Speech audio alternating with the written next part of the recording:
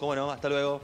Muchas gracias. Bueno, hace un ratito hablábamos justamente de eh, Javier Milei enviándole una carta al Papa Francisco para que venga a la Argentina, él yéndolo a visitar próximamente Italia en el mes de febrero. Y tenemos en comunicación a Marina Rispoli, ella es periodista desde, desde Italia, que va a estar hablando con nosotros y nos va a contar cómo cayó en Italia esta invitación al Papa Francisco a venir a la Argentina, algo que no hizo desde que fue electo Papa hace más de 10 años.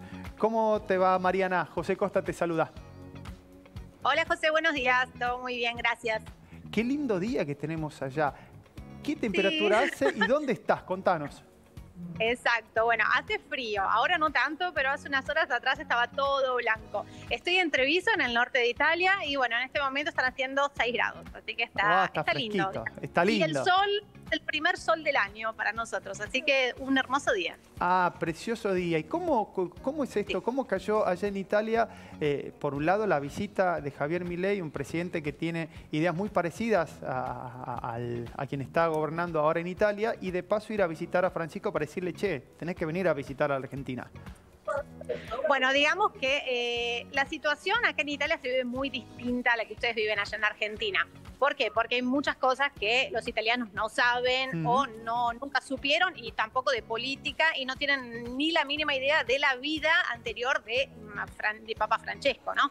Em, así que bueno, para ellos es todo muy normal. Si uno no se lo hace notar como argentino, como diciendo, bueno, pero mira, hace un montón de tiempo, está desde el 2013 y nunca fue a su país, es medio raro. Ahí es como que piensan y dicen, ah, sí, es verdad, nunca fue. ¿Y por qué ahí es donde se hace la pregunta. Em, digamos que eh, no hubo ninguna declaración de, desde el, digamos, desde el Vaticano o desde quien eh, está cerca de, de Papa Francesco, no dijeron absolutamente nada. Es más, ellos nunca dijeron absolutamente nada de ninguna invitación o si algún presidente venía a saludarlos, nunca se hizo ninguna declaración de ningún tipo, que puede ser un poco extraño para nosotros, ¿no? Que obviamente sabemos muchas otras cosas que los italianos no saben. Eh, la visita de Javier Milei es muy mm, apreciada. Eh, es más, es como que es muy esperada, digamos, de que llegue porque, mm, como estabas diciendo, las ideas son muy similares, eh, hay una idea de pensamiento muy, muy parecida en, muchas cosas y obviamente Italia ya está diciendo que obviamente va a dar toda su ayuda y toda su, todo lo que pueda dar para ayudar a Argentina en el momento muy crítico que está viviendo. Obviamente la repercusión más grande que nos llega a nosotros es la inflación. Eh, que también a nosotros nos está tocando, no como a ustedes obviamente, pero eh, digamos es un, es un tema muy, digamos, muy presente en, la, en las noticias eh, italianas. Es más, cada vez que escucho Buenos Aires es, muy raro que últimamente se escuche siempre en el noticiero italiano Buenos Aires y que bueno, se ve la luz de esperanza, digamos, para los italianos es como que, que esperan que, que, Argentina pueda ver esa luz que están esperando desde hace muchos años y que bueno, y que hay mucha fe, acá eh, desde la parte italiana, aparte que Italia un amor muy particular por Argentina, eh, por el argentino mismo, eh, digamos de que tenemos esa, esa protección, porque cuando dices, uy, argentino, o tiene un tío, un primo o alguien lejano, o, tiene algún, algún hilo que los une en algún momento de la vida.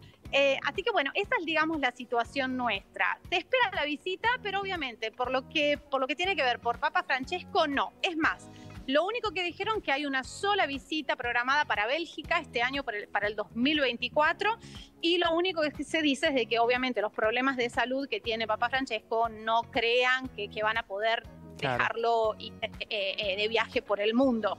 Eh, es más, es feo decirlo, él ya preparó todo para, digamos, su muerte, digamos que él ya mm. tiene preparado el, lugar donde quiere que, eh, pasar el resto de, sus momentos después de, de, vivo. Eh, claro, recordemos, si querés, Mariana, recordemos a la audiencia por ahí el que no lo sabe, debajo de la basílica es donde están eh, eh, las catacumbas, donde están eh, los féretros de todos los papas, y es cada uno de estos pontífices que dice cómo quiere, diseña su propia tumba. Esto no, es algo muy habitual para la gente común. Esto es así, ¿no? Sí, exactamente. Ellos tienen que programar un poco todo, como cuando uno programa una fiesta. Bueno, exactamente lo mismo para lo que será después de, la muerte, lo que quieren y los deseos que, que él quiera. Digamos que eso lo preparó desde la última recaída que tuvo de salud en diciembre, después de su cumpleaños que estuvo bastante mal, es como que se preparó. o no se sabe por qué, porque realmente, digamos, acá en Italia se lo ve muy, muy decaído, aparte que lo, lo vemos bastante, porque obviamente las, las misas se, se pasan por televisión y eh, obviamente se ve el, deterioro, el está deteriorado. Eso te iba a preguntar, Mariana Romina Saluso. Te saluda, buenos días, ¿cómo estás? Eh, eh, ¿Cómo estaba de salud? no Sabemos esto, que en diciembre fue una de las últimas recaídas que tuvo, pero ahora, puntualmente, ¿qué se sabe de su salud? Bueno, se sabe de que está saliendo muy, muy poco, aparte de que ahora hace mucho frío, entonces es como que tratan de evitar, visto la bronquitis que tuvo en diciembre, se trata de evitar de que tome frío, aparte de que él está en un, punto donde hay muchísimo viento ahí en, la Plaza San Pietro. Eh, o sea que de evitar de que él esté eh, expuesto al, momento que se está viviendo acá, que hay mucho también, volvió el COVID, hay una situación un poco complicada, entonces es como que se trata de salvaguardarlo en lo que más se pueda y, bueno, lo único que, él, el, digamos, quien habla por él, eh, lo único que transmite es serenidad, pero es como que para nosotros, argentinos, es bastante normal que él sea así, ¿no? Bueno, estoy resfriado, no se preocupen, el resfrío no se muere uno. Digamos, es como que él eh, trata de minimizar las cosas y bueno, pero por el momento se cree de que está todo bien, o sea, de que ya superó su bronquitis, está todo bien y lo único que dijeron de que van a tratar de, de protegerlo de este frío bastante grande que acaba de llegar porque no teníamos hasta hace pocos días frío, um, se trata de salvaguardarlo. Lo único que después de la invitación, obviamente, de Miley, se dijo que el único viaje programado es el de Bélgica, que para el 2025 todavía no se sabe absolutamente nada, y, pero nada, preguntan igual algunos periodistas italianos, ¿eh? Y, pero ¿qué opina? ¿Qué opina? Nada, ahí es donde se dan media vuelta y bueno, giran. porque, aparte sería algo muy novedoso que, no hay, que, que Francisco viaje cuando hay un presidente con el cual él tuvo grandes diferencias, un presidente que públicamente lo criticó, un presidente que no está alineado a las ideas que tiene o a la ideología política que tiene Francisco, sería un gran gesto también de él de decir eh, hay que hermanar a un pueblo como el pueblo argentino que está bastante fragmentado y dividido en este momento, Mariana yo creo que la, figura del Papa Francesco en realidad tendría que ser esa, ¿no? De, neutralizar un poco todo y bueno, y dejar las diferencias de cualquier tipo que sean. Ahora no, no, no quiero empezar a hablar de, un presidente o de otro, mm, lo, que sea. Estuvo duro Javier Milei porque obviamente pasaron las declaraciones que, hizo y es obviamente mm, bastante natural que, después de lo que, de lo que dijo una persona, cualquier persona un poco se resienta, ¿no? Y que diga, bueno, un poco se exageró, ¿verdad o mentira? Se exagera. Eh, pero por el momento esperemos de que el gesto suceda. Eh, mm. es un poco raro, sinceramente. Yo no, no lo veo muy posible por, por el estado de salud, más que nada, de, de Papa ah. Francesco. No por lo que pueda llegar a pasar de, presidente o no presidente.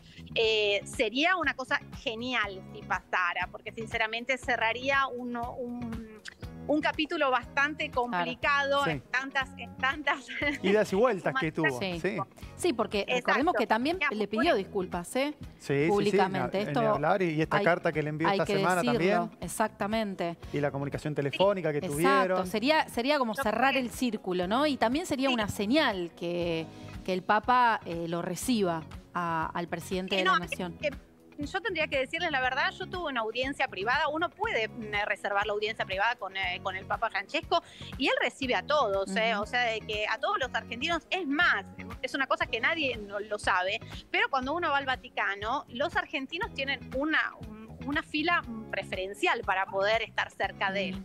Que eso también da mucho, muchas veces mal la gente porque dice, ¿por, ¿por qué usted es argentino? Y bueno. siguen, dando siguen entregando esos tarjetones de colores para ver la ubicación.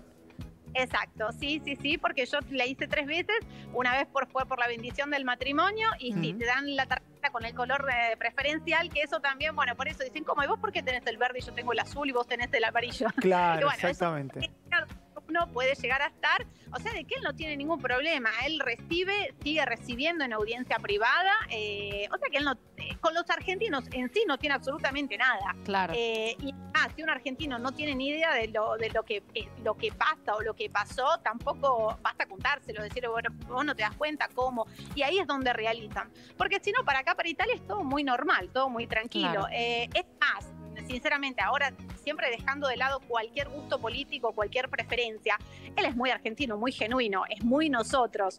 Eh, y eso también es como que, gusta mucho acá en Italia porque es una, es una característica muy particular. Él es muy, muy nosotros. O sea, que es, genuino. Mariana, eh, quería preguntarte también porque tengo entendido que el presidente dicen que eh, una vez llegado a Roma, él tendría intenciones de participar en la canonización de Mamantula. ¿Qué sabes de esto?